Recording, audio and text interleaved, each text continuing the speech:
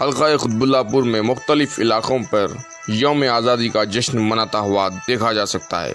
Tipu Sultan association की जानब से श्री रामनगर जगतगिरी गुट्टा इलाके में योम आज़ादी का जश्न बखूबी मनाया गया, जहाँ पर मेहमान खसूसी तौर पर आप पहुँचे। सब इंस्पेक्टर ऑफ़ पुलिस जनाब पटेल साहब।